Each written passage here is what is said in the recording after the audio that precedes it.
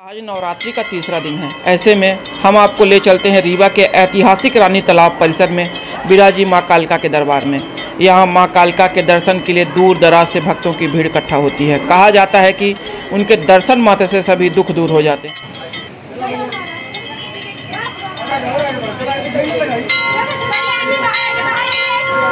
आज मंदिर का तीसरा दिन है, माता रानी का तीसरा दिन है। यहाँ हम लोग काफ़ी सालों से आ रहे हैं। और यहाँ जो भी मांगो सब पूरा होता है। हम लोग नौ दिन का व्रत रखते हैं और माँ कालिका का मंदिर है ये। बहुत दूर दूर से लोग यहाँ आते हैं दर्शन करने के लिए। ये सभी लोग आते हैं यहाँ पे, वैसे भी सभी लोग यहाँ आते हैं। मेरे जान पहचान के लोग भी आते हैं, दूर से भी आते हैं। यहाँ बहुत ज़्यादा भीड़ लगती है। अभी तो आज तीसरा दिन है, पंचमी के दिन और ज़्यादा भीड़ लगती है यहाँ पे। हमारा नाम मानसी जायसवाल है। यहाँ मतलब नवरात्र में हमेशा आते हैं।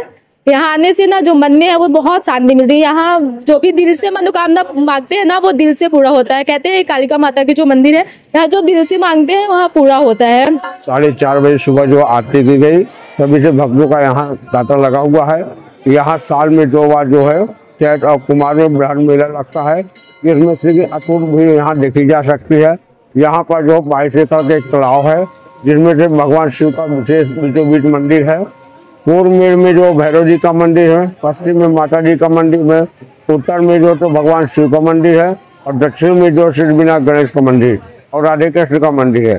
यहाँ जो है तो जो श्रद्धा भक्ति से आते हैं लोग बाग यहाँ देखा जाता है कि काफ़ी अटूट भक्ति मन उनके भाग लेती है और उनके मन वांछितों को फल देती रहती है। बहुत अच्छा लगता है और यहाँ आने के बाद बहुत शांति मिलती है।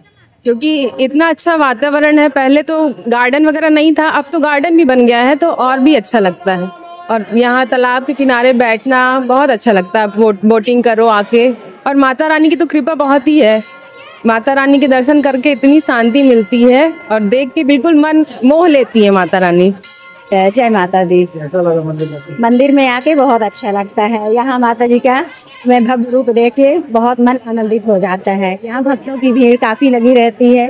अभी तो कम भीड़ रहती है। पंचमी से भीड़ इतनी बढ़ती है कि लाइन लगी रहती है। नीचे से लंबी लाइनें लगती हैं। व्यवस्था करता यहाँ व्यवस्था भी काफ़ी रहती है। लोग ध्यान भी बहुत देते हैं। और यहाँ आके सभी की जो होती हैं वो पूर्ण होती हैं। जब भीड़ रहती है तो थोड़ा सा कष्ट होता है लेकिन माता रानी वो भी सबके कष्ट दूर करती है। वो भी बड़े सहजता से दर्शन देती है उसमें भी कोई तकलीफ़ नहीं होती है। बस भक्तों को थोड़ा सा सहनशीलता दिखानी पड़ती है।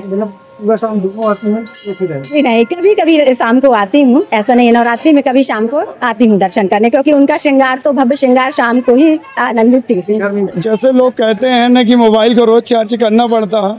उसी तरह मैं अपने आप को चार्ज करने माँ के दरबार में आता हूँ।